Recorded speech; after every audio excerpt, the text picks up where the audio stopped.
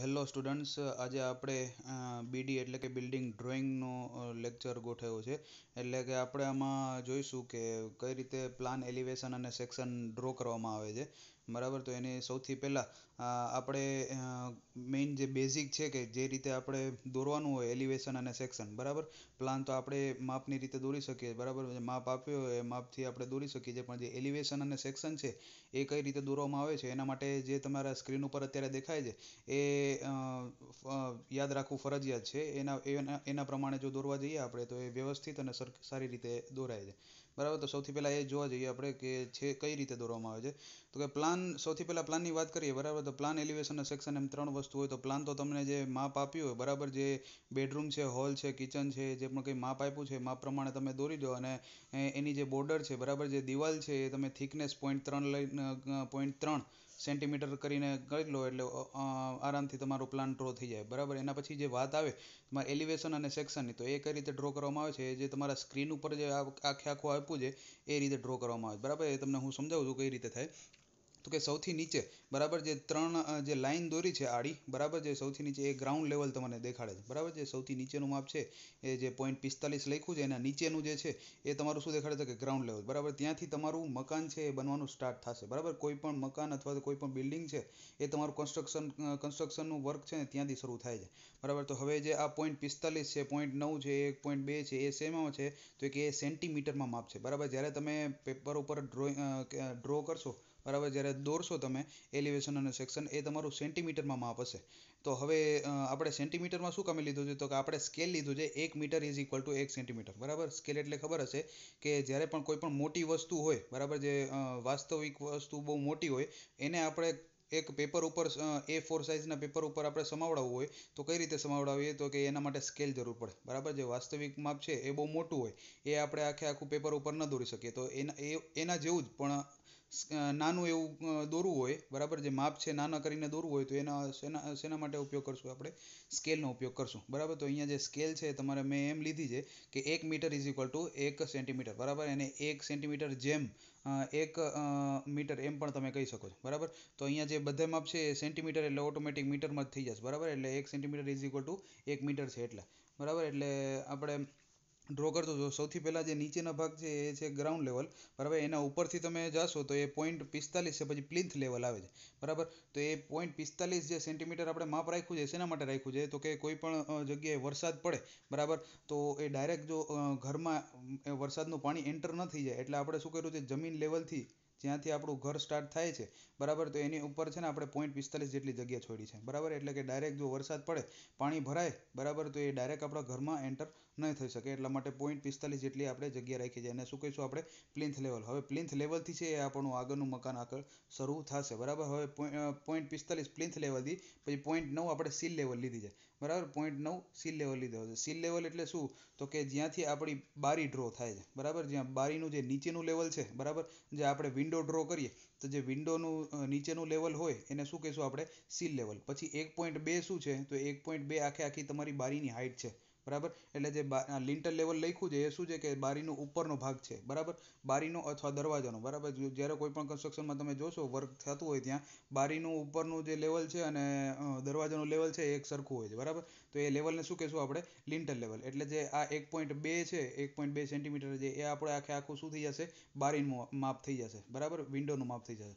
હવે જો આપણે દરવાજાનું, એટલે કે ડોરનું માપ જોઈએ, તો એ ક્યાંથી થશે? તો કે પ્લિન્થ લેવલથી લઈને લિન્ટર લેવલ સુધીનું. બરાબર? એટલે કે ઝીરો પોઈન્ટ નવ પ્લસ વન પોઈન્ટ ટુ બરાબર? એ આખે આખું શું થશે? આપણે આપણું આખે આખું ડોર અથવા તો દરવાજાનું માપ થશે, બરાબર? હવે જે લિન્ટર લેવલ છે, બારી અથવા દરવાજાનો ઉપરનો ભાગ છે, ત્યાંથી આપણે શું કરશું? સ્લેબ લેવલ લઈશું. જે ઉપરનો જે બાકીનો જે જગ્યા રહે છે, આખે આખો જ્યાં ફ્લોર આખે આખો આપણો પૂરો થાય છે ફ્લોરની હાઇટ બરાબર? જે આખે આખી થાય છે, એ કઈ જે ઉપરની હાઇટ એ સ્લેબ લેવલની છે. બરાબર? હવે સ્લેબ લેવલની હાઇટ આવી ગઈ. હવે સ્લેબ લેવલથી આપણે થિકનેસ લઈએ છીએ. બરાબર? આ જે ઝીરો પોઈન્ટ પંદર છે પોઈન્ટ નવ સ્લેબ લેવલે આવી ગયા, એના ઉપર જે પોઈન્ટ પંદર ઝીરો પોઈન્ટ પંદર છે, એ શું છે? તો કે સ્લેબ લેવલની થિકનેસ છે. બરાબર? જે આપણે સ્લેબ ભરીએ છીએ, એની કંઈક ને કંઈક થિકનેસ હશે, તો એ થિકનેસ કેટલી લીધી આપણે? ઝીરો પોઈન્ટ પંદર. અને ઝીરો પોઈન્ટ પંદર જે સ્લેબની થિકનેસ પછી એના ઉપરનો ભાગ આપણે શું લીધો છે? તો કે પેરાપેટ, એટલે કે જે છત આવી જાય છે આપણે, એ જે છતની જે બોર્ડર હોય છે આખી આખી, એ કેટલાની લઈએ છે? પોઈન્ટ ઝીરો પોઈન્ટ નવ સેન્ટીમીટરની લઈએ. બરાબર? તો આ, આવી રીતે આખે આખું આપણું જે એલિવેશન અને સેક્શન છે એ આપણે આવી રીતે તૈયાર થાય છે. બરાબર? તો આ છે આખે આખું ગ્રાઉન્ડ ફ્લોર માટેનું. જો હજી સેકન્ડ ફર્સ્ટ કે ફર્સ્ટ ફ્લોર અથવા સેકન્ડ ફ્લોર બનાવવો હોય, તો સ્લેબની થિકનેસથી ફરીવાર આપણે ચાલુ કરી દેવાનું સી લેવલથી ડાયરેક્ટ બરાબર? તો એવી રીતે શરૂ કરી દેવાનું. જે પ્લિન્થ લેવલ સોરી પ્લિન્થ લેવલથી આખે આખું ફરીવાર રિપીટ કરી દેવાનું. બરાબર? તો આ તમારું આ વસ્તુ થઈ. તો અહીંયા મેં માપ સાથે થોડીક એક દોરવાની ટ્રાય કરી છે. બરાબર? આજે મેં માપ કીધા પોઈન્ટ પિસ્તાલીસ છે ઝીરો પોઈન્ટ નવ છે. બરાબર?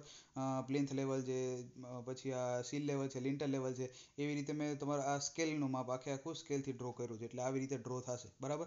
આ આખે આખું તમારું શું થઈ જશે? તો આખે આખી મકાનની હાઇટ થઈ જશે. બરાબર?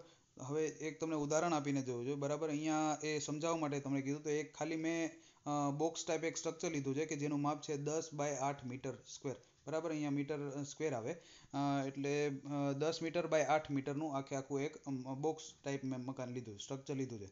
હવે શું કરવું છે? એની ત્રણેય બાજુ વિન્ડો છે, બરાબર? અને સામેના ભાગમાં, બરાબર? ડોર આપણે પ્રોવાઈડ કર્યો છે. તો આ મારું એક પ્લાન ડ્રો થયું છે, બરાબર? જે સૌથી પેલો, અત્યારે તમારા સ્ક્રીન ઉપર દેખાય છે, એ શું છે તમારે? પ્લાન છે. હવે મારું આનું એલિવેશન અને સેક્શન ડ્રો કરવાનું છે, બરાબર? હવે જે વચ્ચેથી એક મેં કટ મૂક્યો છે કે જ્યાં મેં એ એ સેક્શન દોર્યું છે, બરાબર? જે એ એ એક્સિસ દેખાડ્યું છે, એ શું છે? હું તમને પછી એક્સપ્લેન કરું. બરાબર, આ આપણું પ્લાન તૈયાર થઈ ગયું. હવે મારે એલિવેશન દોરવું જોઈએ તો મેં જે, જેમ સેમ ટુ સેમ આપણે જે માપ કીધા આખે આખા, બરાબર, એ રીતે આ જે માપ કીધા, એ આખા આખા માપ સાથે મેં શું દોર્યું છે? મારું એલિવેશન ડ્રો કર્યું છે. બરાબર, જે નીચે જો ફરીવાર મેં ગ્રાઉન્ડ લેવલ દોર્યું છે ગ્રાઉન્ડ લેવલથી ઉપર મેં તમને કીધું કે આપણે પ્લિન્થ લેવલ સુધી એમને જગ્યા રાખીએ છીએ. એમાં આપણે જો સ્ટેર કેસ અથવા તો જે પગથિયા જે પ્રોવાઈડ કરવાના છે, એ આપણે પગથિયા પ્રોવાઈડ કર્યા છે. પછીથી આપણે જે મકાનનું જે લેવલ છે, ત્યાંથી શરૂઆત થાય છે. બરાબર? એ પછી પ્લિન્થ લેવલથી આપણે સીલ લેવલ સીલથી લિન્ટર લેવલ બરાબર? હવે અહીંયા તો મારે જોવાનું ક્યાં છે? હું અહીંયા સામેના, દરવાજાની સામેના ભાગમાં ઊભો છું અને મારે શું કરવાનું છે? એનું એલિવેશન દોરવાનું છે. એલિવેશન એટલે શું? તો કે કોઈ પણ પ્લાનનું ફ્રન્ટ વ્યૂ બરાબર? જે સામેનો ભાગ છે એ મારે જોવાનો છે. હવે હું દરવાજાને સામે ઊભો છું, ત્યારે મારું મકાન કેવું દેખાતું હશે ને એ મારે ડ્રો કરવાનું છે, બરાબર? તો હું જ્યારે મકાનના સામેના ભાગમાં, એટલે કે આ જે મેં પ્લાન દોર્યું છે, એના સામેના ભાગમાં ઊભો રહીશ, એટલે મને શું દેખાશે? ખાલી એનું ડોર સિવાય બીજું કાંઈ નહીં દેખાય. બરાબર છે? સામેના ભાગમાં આજુબાજુની દિવાલ અને વચ્ચોવચ્ચ જે ડોર આવ્યો હશે એ દેખાશે, બરાબર? એટલે એ મારું ફ્રન્ટ વ્યૂ થયો. ફ્રન્ટ વ્યૂ શું થઈ જશે? મારું એલિવેશન થઈ જશે. તો આ મારે આ શું કહ્યું? મેં માપ પ્રમાણે આખે આખું મેં પ્લાન દોર્યો અને વચ્ચે જે ડોર છે એ મારું દોરી લીધું. ડોર કેટલું આવશે? પ્લિન્થ લેવલથી લઈને લિન્ટર લેવલ સુધીનું આવશે, બરાબર? જો વિન્ડો હોત, મને વિન્ડો દેખાત, તો વિન્ડો ક્યાંથી દોરત? સીલ લેવલથી લઈને લિન્ટર લેવલ સુધીનો, બરાબર? આટલો ફેર પડત પણ અહીંયા મારું શું છે? ફ્રન્ટ ભાગમાં ખાલી ડોર જ દેખાય છે એટલે મેં આ ડોર દોર્યો. બરાબર? ડોરની ઉપર મેં છજ્જા પ્રોવાઈડ કરી દીધું. કારણ કે સામેના ભાગમાં મને છજ્જા પણ દેખાશે. ડોરનું જે છજ્જા છે, બરાબર? એ પણ દેખાશે. એટલે આ મારું શું થઈ ગયું? એલિવેશન થઈ ગયું. હવે શું કરવાનું છે? મારે ડ્રો સેક્શન ડ્રો કરવાનું છે. બરાબર? તો હવે સેક્શન કઈ રીતે ડ્રો કરવું? તો કે સેક્શન એટલે થાય શું સૌથી પહેલાં? તો સેક્શન એટલે કે પ્લાનમાં હું ગમે તે એક ભાગ, કાં તો આમ આડો ભાગ અડધા ભાગ કરું, કાં તો ઊભા અડધા ભાગ કરું. બરાબર? હવે મેં અહીંયા શું કર્યું છે? જે એ એ એક્સિસ દોર્યા છે, બરાબર? અને એરો મેં ક્યાં દેખાડ્યા છે? બે બાજુ ઉપરની સાઈડ દેખાડ્યો એનો મતલબ શું છે? તો કે મેં એ બારીએથી અડધો, આખે આખો જે પ્લાનમાં છે અડધો કટકો કરી દીધો છે અને મારે જોવાનું કઈ દિશામાં છે? જે દિશામાં એરો રાખ્યો છે ને એ દિશામાં. બરાબર? પહેલાં મેં શું કર્યું? મેં પ્લાનના બે અડધા ભાગ કરી દીધા. અડધા ભાગ કરીને શું કર્યું છે? કે મારે જે દિશામાં જોવાનું છે એ દિશામાં મેં એરો રાખી દીધો છે. એનો મતલબ શું થયો? કે મારું એ ભાગનું મારે સેક્શન દોરવાનું છે. બરાબર? હવે સેક્શનનો મતલબ શું થાય છે? તો કે હું આ અડધા કટકા કરીને પછી જે સામેના ભાગમાં મને જેટલું દેખાય છે એ મારે ડ્રો કરવાનું છે. બરાબર? તો આ મેં અડધા કટકા કરી દીધા જે જે આડી આખે આખી જે હોરિઝોન્ટલ લાઇન છે, બરાબર, વચ્ચેના ભાગથી વિન્ડોથી વિન્ડોમાં વચ્ચે આખે આખા કટકા કરી દીધા. કટકા કર્યા પછી જો હું સામે ઊભો છું, તો ત્યારે મને કઈ કઈ વસ્તુ દેખાશે? તો કે સીધે સીધું મને એક વિન્ડો દેખાશે અને બે બાજુ મેં, બે બાજુથી બારીએથી અડધા અડધા કટકા કર્યા છે, એટલે એ જે અડધી બારી હશે, એ એક દેખાશે, બરાબર? તો એ જ વસ્તુ સેમ ટુ સેમ માપ લઈને મેં અહીંયા દોર્યું છે, બરાબર? જે આપણે આગળના ભાગમાં માપ લીધા હતા બરાબર? જે આ વસ્તુ જે આ માપ લીધા હતા, એ જ માપથી મેં શું કર્યું છે? આખે આખું સેક્શન ડ્રો કર્યું છે. બરાબર? એ જ માપથી મેં એલિવેશન ડ્રો કર્યું હતું, એ જ માપથી હું સેક્શન ડ્રો કરીશ. બરાબર? હવે સેક્શનમાં જો સૌથી નીચે છે ગ્રાઉન્ડ લેવલ મેં અહીંયા જીએલ લખ્યું છે ગ્રાઉન્ડ લેવલ પછી એના ઉપર પોઈન્ટ પિસ્તાલીસ. બરાબર? જે મારું પ્લેન્સની લેવલ છે એ. પછી પ્લેન્સ લેવલથી ઉપર, બરાબર? સીલ લેવલ એની ઉપર લિન્ટર લેવલ હવે સામેના ભાગમાં મેં તમને કીધું હતું, મને બારી દેખાય છે, તો મેં બારી વચ્ચે ડ્રો કરી છે. બરાબર? અને બંને બાજુ શું છે? અડધી અડધી બારી દેખાશે. એટલે એ મેં બારી પણ એની ડ્રો કરી દીધી ને એની ઉપર મેં શું ડ્રો કર્યું છે? છજ્જા ડ્રો કરી દીધું. બરાબર? એના પછી તો એ થઈ ગયું. બરાબર? સીલ લેવલથી લિન્ટર લેવલ સુધીની મેં આખે આખી બારી ડ્રો કરી દીધી. જે મારી વિન્ડો છે એ ડ્રો કરી દીધી. હવે એને ઉપર શું આવશે? જે પોઈન્ટ નવનું, જે સ્લેબનું લેવલ છે એ મેં ડ્રો કરી દીધું. પછી સ્લેબની થિકનેસ લીધી છે. બરાબર?